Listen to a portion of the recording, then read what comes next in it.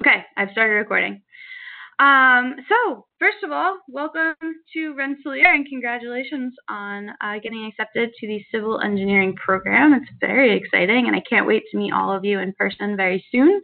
Um, to kick off, this webinar is predominantly a chance for you to ask me questions as we go through the material. Um, so I'm going to kind of focus on leaving a lot of room at the end for those questions. Um, and you know, you have the registration guide that can really support you with figuring out those fall classes. Um, so we'll touch upon that a little bit. Um, and, and, other resources that are going to be really helpful to you as you kind of lay the pieces for next week when you sit down to register. Um, to start off, I'm going to share my screen and we're going to we're going to use the registration guide as a guide for this conversation. You know, make sure that I'm staying on track and not going into any tangents. Um, so this should look pretty familiar to you. Um, as we scroll down, a couple of things I want to cover. So the SOE Hub, as you've probably figured out up to this point, is your primary um, advising resource as a first year at Rensselaer in the School of Engineering. Um, and I'm your advisor. So for the first year, I'm going to be the person that you'll go to for all your academic questions and concerns and figuring out your schedules. Um, when you have mandatory meetings, you'll have them with me. And the goal that you and I will have by the end of your spring semester is that you have enough of an understanding of your curriculum that by the time you transfer over to your faculty advisor, you feel great about what you want to do and what you need to do before you graduate. Um, of course, that's a long time off, and we have a lot of work to do before then. So I'm just going to scroll down and we'll get started. So curriculum planning, you have your major template. The major template is a list of all the courses that you are required to take um, in order to graduate as a civil engineer. You can, of course, add to your curriculum when there's room, um, but everything you see is, is definitely what you need to take. I've paused here because I want to go over prereqs and coreqs really quickly. This, oh, sorry, I keep hiccuping. Um, these prereqs and coreqs are some of the most important elements to coming up with your schedule and creating your four year plan. When you're creating that four year plan, you want to make sure that your plan matches the plan of the prereqs for a course. So, for example, to take Calculus 2, you got to take Calculus 1, right? So, all throughout your template, there are those instances. Um, and for the fall semester, we're going to talk about what courses should really be there um, as you as you are starting out and because you're going to need them pretty quickly. So this is your major template. Um, so again, we're looking at this fall semester here. So on the engineering or civil engineering curriculum, you'll see chemistry, um, civil 1200, engineering graphics for civil engineering, um, engineering 1100, which is introduction to engineering analysis. You'll hear me say IEA. Uh, Calculus 1, Math 1010, and then our HASS elective, which is your general education requirement.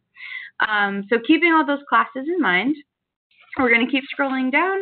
Um, this breaks it down for you again. So these are the courses that we expect you to take. And there's also a little breakdown of what, what other options are because I'll say it now and I'll probably say it a few times. You want to have a plan A, B, C, D as you're coming into registration.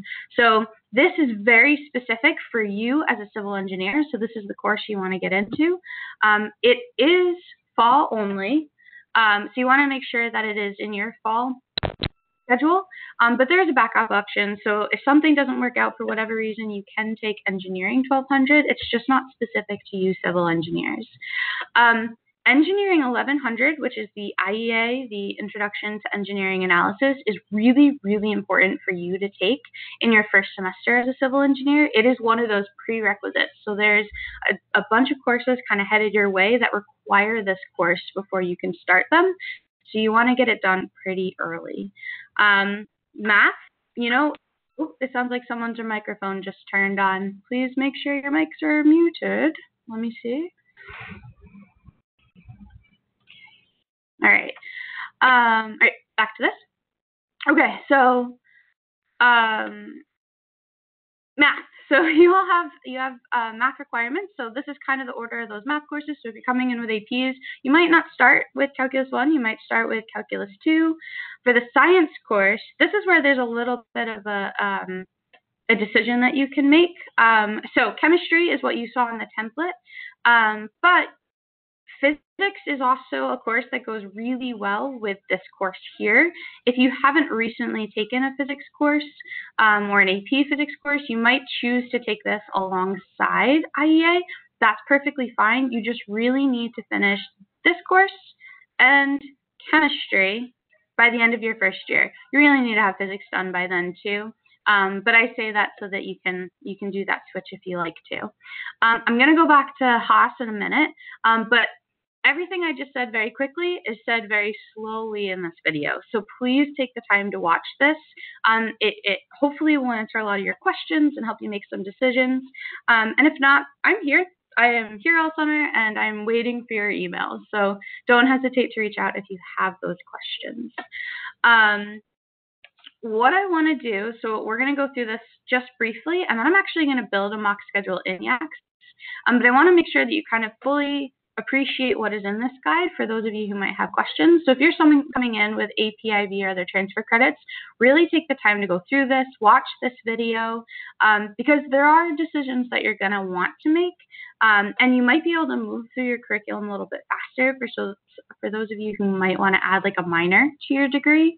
Um, that could open up some space for you.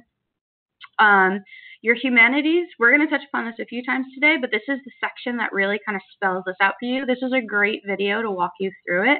Um, and we know that there's a lot to it, so never feel like you have to watch this and understand what you're doing. For your fall semester, you want to look for this and I will I'll say this again in a, a few different ways to help you remember. Um, but you want to do an inter, interdisciplinary HASS course, which is an IHSS course for that first fall semester. Even if you're coming in with AP HASS credit, so if you did like a social science type course or an art course, you can only apply two of those classes to your HASS degree. Um, but even if you're you're bringing them in, you still need to take that IHSS HASS course in your first semester. Um, and the reason for this is you have a HASS pathway that you're going to need to get started, and these IHSS classes are reserved for first year students. Um, so that's that's going to be part of your goal.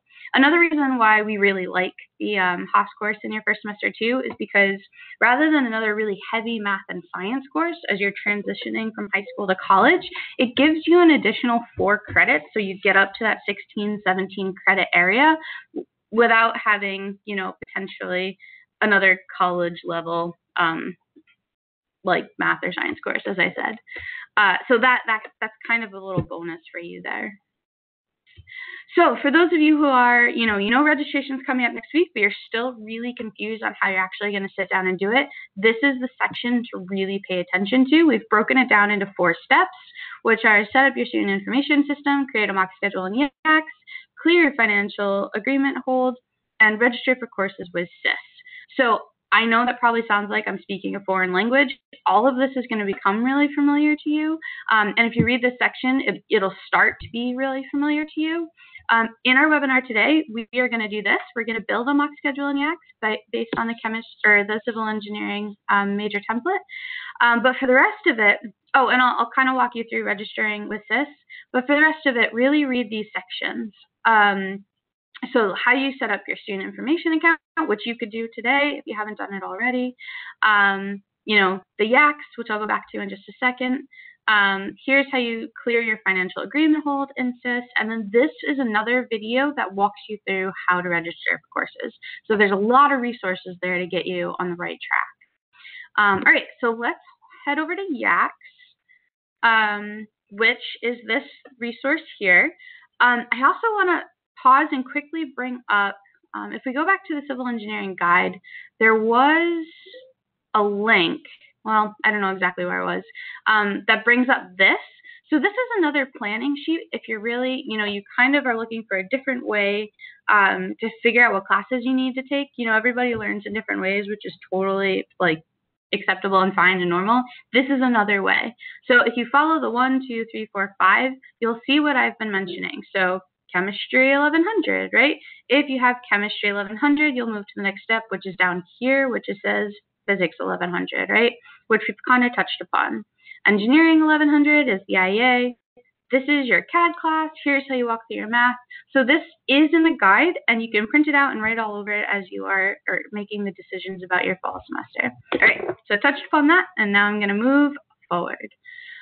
So, YACS, there's a couple ways to use YACS and search for classes. So, of course, you can start on this screen here where we can see School of Humanities, Arts, and Social Sciences. We can see the School of Science. We can see the School of Engineering. Um, so, if we look at your exact template, um, we know that chemistry is the first thing on here. So, we can see chemistry here.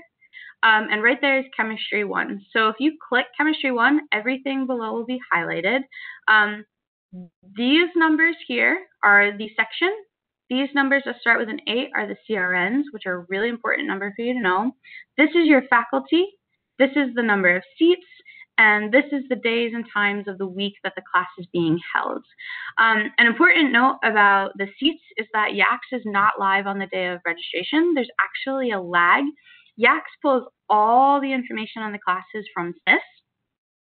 So there's no way it can possibly keep up with the amount of changes that are happening to these courses on the day of registration. So that's why if you look in the guide, we've kind of have this image where on one side of the screen we have YACS and on the other side of the screen we have SIS. This is a great thing to do when you sit down to actually register for your courses. So that way, when you're over here looking at the schedule you built and you see that CRN, you can go over to SIS and say, all right, is that class still have six seats left in it. If it does, great, I'll register for it. If it doesn't, I'll have my plan B. Um, and plan Bs are really important. You want to have a plan A, B, C, D, and I'll show you exactly how easy it is to make those plans. All right, so we've clicked this. If we click on schedule, we will see that chemistry has shown up in our fall schedule. We can see it right down here below, the information from before, and we can see that we have nine options um, of classes that we can go through. And when you click this, they move around. Okay, so to get back to that menu, we can click the YACS rainbow over here. Um, and we know that we want to do a math course here, so we go back to the School of Science, we go to Mathematics, and there we are, Calculus 1. If you scroll down, you see all the other math classes. Um, you guys, you're going to be hanging right out up here, though, for the first semester.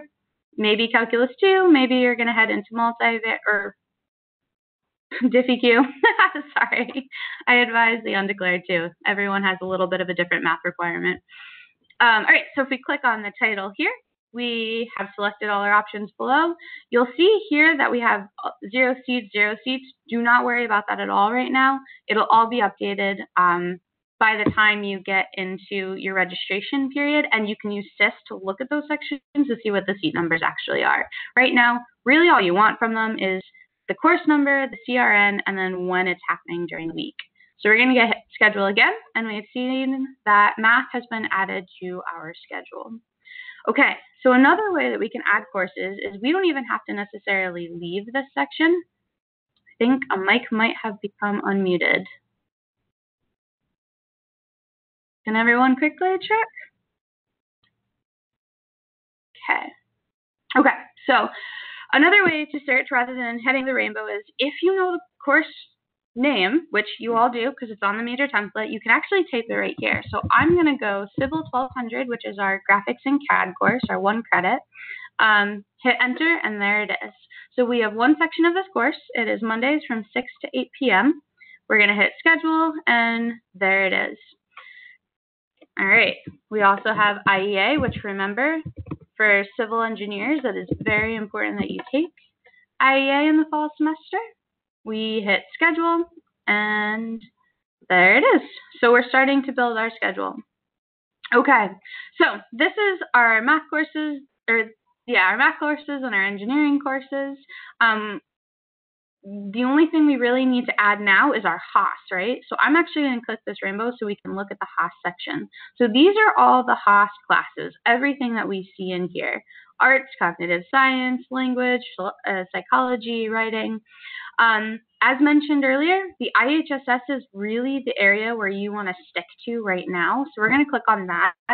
Um, the reason why you want to stick to the IHSS course is because um, of a, a requirement that you have called the pathways. So Karen's going to help me out by dropping a link into the chat to all of the pathways that we have. Um, look through them. go after what sounds interesting to you. Look at what those first classes are, those IHSS courses are that re- the pathway requires, and you should find them right in here. Um, I'm going to click on Exploring Music at Rensselaer, which is actually a pretty popular one. Um, we can see that we have that one section, right?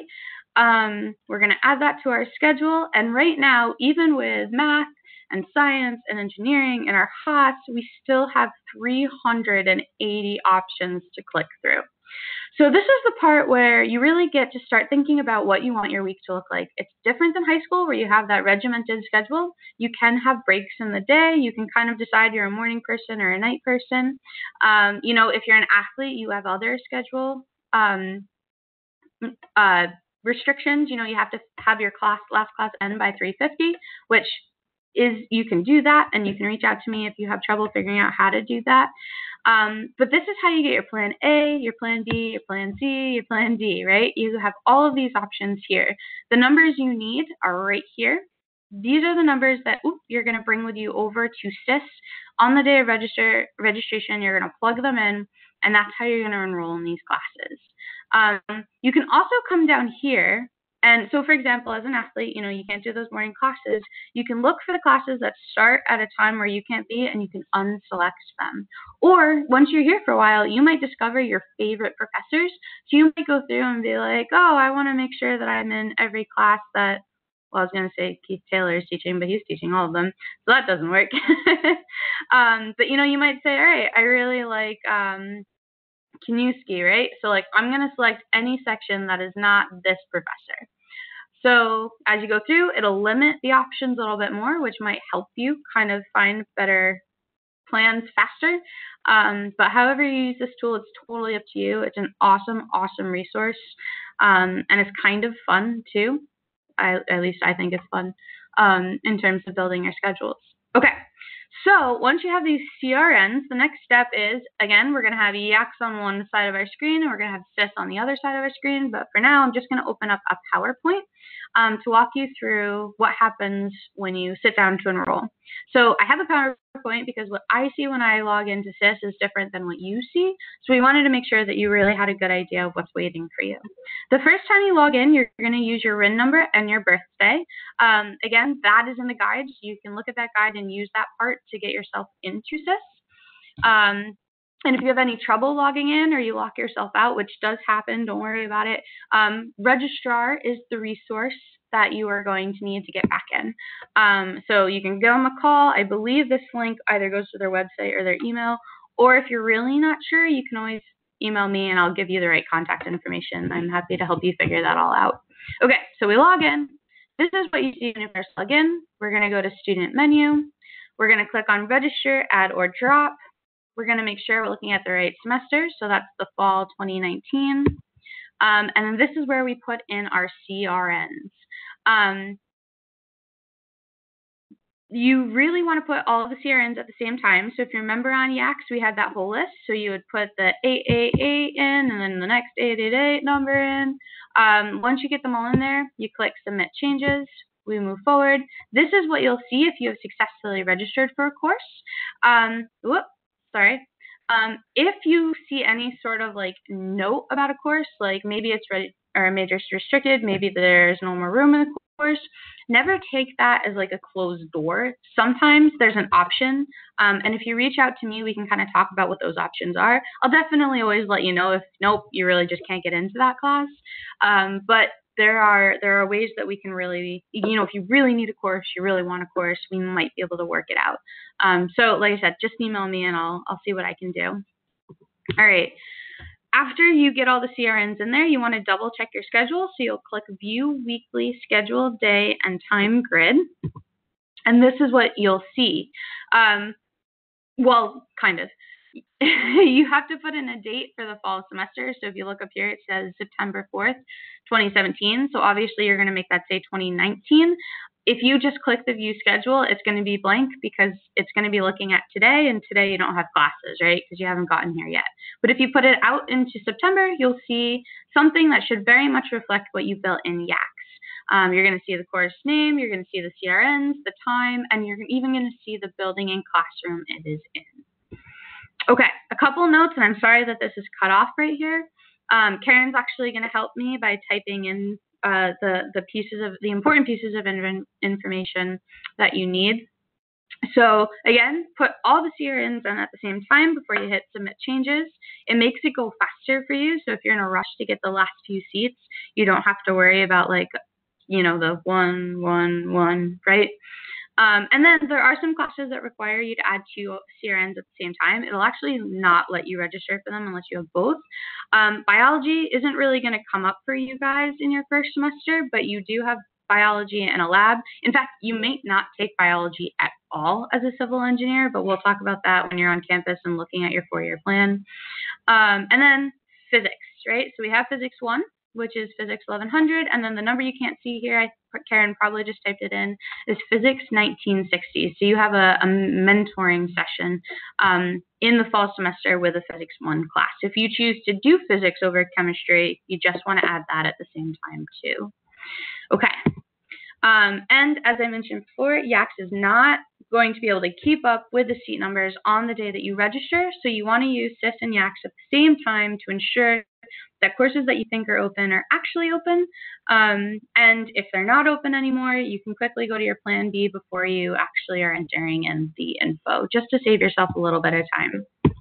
Okay, so if you get locked out, if weird things are happening with your registration, um, you can absolutely reach out to registrar at rpi.edu. That is the registrar's office.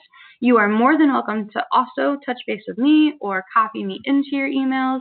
Um, I am here as a resource to you, especially right now when all of this is new and a foreign language to you and you don't really know what's going on. Um, so never feel like you have a dumb question or a silly question and reach out to all the resources available to you. So register at rpi.edu is one of those that you can take advantage of. Okay, before we go to Q&A, I want to pop back to the guide um, just to quickly scroll through the rest of this. So this is how you're figuring out how you register or register for classes. And then at the end, we have all these useful resources. So this civil civil engineering advising handbook is going to walk you through the major here at Rensselaer a little bit more. Um, it is going to take you to the class of 2022. The class of 2023 will be updated by the time you get here in the fall. It's something we do over the summer when students aren't on campus. Um, but you can absolutely look at that now to get a good idea of what you're going to be doing when you get here and kind of the, the culture, the Rensselaer culture of that. Um, also, you know, we have our academic calendar that's right here. So if you're interested in, you know, when the deadlines are, or if you want to know when things, Thanksgiving break starts, you can click on there and find those dates. Um, the acronym dictionary. So we have a lot of acronyms on this campus, so many so that there is actually an acronym dictionary. Um, use this. Don't feel like you ever have to know what people are saying. Ask questions. Sometimes I speak in acronyms. and I, I really try not to when you guys first get here so that you can catch up to the language before I start throwing things at you, like IEA, which is that Engineering 1100 class. Um, a little bit further down, you'll see like our website, you know, important links uh, for academic resources and our social media. We're already putting up posts that speak to you as the class of 2023. If you want to engage with us this way, absolutely go for it. Um, and as I've said a few times, I'm here. So if you have any questions, if we get to the Q&A part and you really think that your question um, is, is more of a personal nature and you want to ask about that directly, email me. Do not hesitate. Um, I'm genuinely waiting for your emails right now so that we can get you started and ready for next week. Um, or pick up the phone and give me a call. I'm sitting at my desk, so I should be here. Um, and if you book an appointment with me, which you will be doing when you get on campus, this is how you get in front of me. Um, it makes sure that I'm actually sitting at my desk if you want to call me in a more formal way.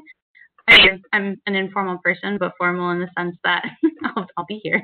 I won't be walking around campus. Um, all right. So with all that being said, I think I've touched on everything I want to say. So let's do that Q&A thing. Um, let me scroll through and see if I missed anything in the chat. No? Oh yeah, Karen put a very good point up. For some reason, the the catalog is not updated, and it says that chemistry is only offered in the fall. That is not true. You can take it in the fall or spring semester. So if you do choose to take physics this fall, don't worry, you'll be able to take chemistry in the spring and have all of that taken care of before the end of your first year. Okay, so now I'm going to stop talking to give you time to think of and or ask questions. Okay, first question. When should we transfer AP credits, before or after this year's scores are released? Um, well, I think that they won't send AP credits until the scores are done. Um, so I think it, you know, there's no real rush to get those scores sent our way. Because um, when you go to register, a lot of times your scores won't come in, and we are so aware of this, which is why there's so much flexibility with the those of you who are bringing in AP credits. So if you do register for something and want to make a change, we're just going to make a change. It's that simple. Um, so I would say wait till you get your score and then go on to College Board and send them over. Um, one of the benefits of meeting with me um, at least one semester or once a semester is that we will go through your degree progress. So if you think that there's like a math credit or a chemistry credit that should have been transferred in, we'll actually see if that credit came in or not. And it's usually a very simple thing to quickly go back to College Board and have them sent, or however you're bringing those credits in. Um, good question. So wait till you get your grades, send them over. Okay. Any other questions?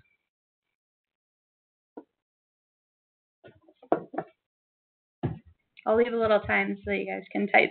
So don't don't feel rushed.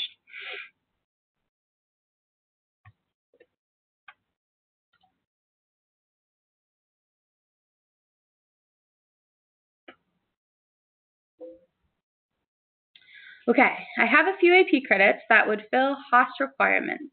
Should I use these in later years in order to fill pathway requirements? This is such a good question. Okay, so absolutely, we're going to use at least eight of those credits for your HASS requirements. So you have 20 credits you have to meet. So eight credits is two, um, two classes. So regardless of that, in your fall semester, do register for an IHSS course because, again, those courses are reserved for first years. So once you get to your sophomore year, we can't really look backwards, right, and take an IHSS course. Um, however, what you could do if you want to have a deeper conversation about where those credits will go and what they'll do for you, on, on a personal note, Will, email me what you think you're coming in with and we can talk about how that'll hit a pathway. Um, because pathways are going to be free classes and you have um, oh gosh, I had a mind blank. Five classes in the hospital. Give it three for the pathway. Yeah. Okay. Sorry. So so three of those courses will go towards the pathway, but two of them are not. So those two classes you're bringing in very well might take care of the rest of your HASS requirement for you. Um, so it really depends upon A, what you want to do with the pathway, B, what you're coming in with, um, and then, of course, at the end of the day, what sounds the most fun to you and fits in your schedule. So Will, if you want to send me an email with that or anyone else who has something along those lines, let's let's take a deeper look together. Awesome. Okay, Amanda, why are there multiple teachers listed under one course for chemistry? That is a very good question, and I don't think I have a very succinct answer other than there are different labs. So I think you might have a professor for a course and then a different one in the lab, or vice versa. Sometimes they really don't know until the start of a semester um, who's going to be teaching a certain section. It depends upon all the other classes that are going on and everything, you know, kind of comes together. And right now our, our faculty are teaching classes. So it, I, yeah, like I said, I don't have a succinct answer, but um, you kind of get used to that groove once you start and you figure out who your faculty are. Um, that's a great question. Any other questions out there? I will pause so that you have time to type.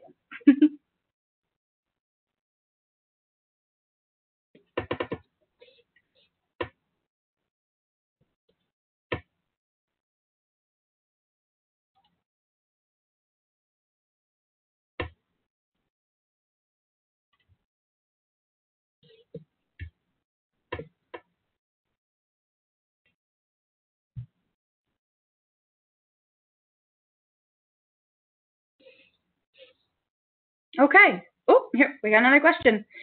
Can I get math credit for AP statistics rather than management credit?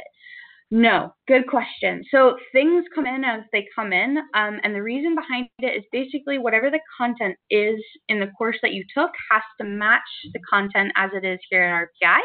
So in order to get like calculus credit, the course would really have to be calculus focused. Because the statistics course is statistics focused, it does come in as a management credit. But I'll tell you something cool. If you do have that AP statistics course, there is an engineering statistics class that is on your um, curriculum. It actually is is put into your Ooh, sorry, I have a hiccup. Um, into your spring semester. Um, if you're looking at a template, uh, you might see it, which is Engineering 2600. Your statistics course is really going to be a big benefit to you in that class. Um, so it's good that you have that. And then also that AP class, it goes into one of your free electives. So it gives you four credits that you don't have to think about. Um, and you know, you might decide that you are interested in business or management, and that could come into play too if you declare a minor. Um, that's a good question though. Content is everything. So if after your first year you think you want to do summer classes, which a lot of our students do because they kind of want to get some classes out of the way, um, that's how we decide what courses will come in and what they come in as. Um, actually, maybe Karen could quickly share a link to the transfer credit guide just so you can kind of see how that works. Good question. You guys are asking great questions. Any other questions?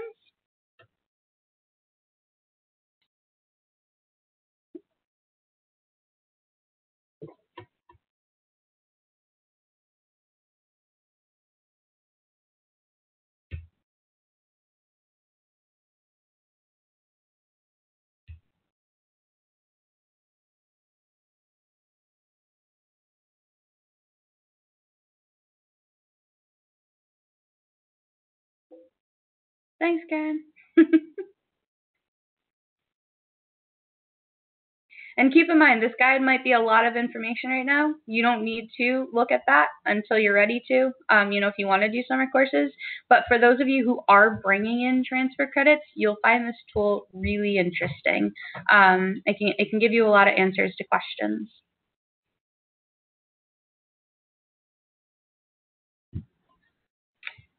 All right, I think I'm going to wrap it up unless there's one more question out there. Um, so, have fun with this. Go on YACS, build some schedules, come up with a few plans. Um, anytime you think you have a question, whether it's big or small, or you think it's silly, which it's probably not, email me.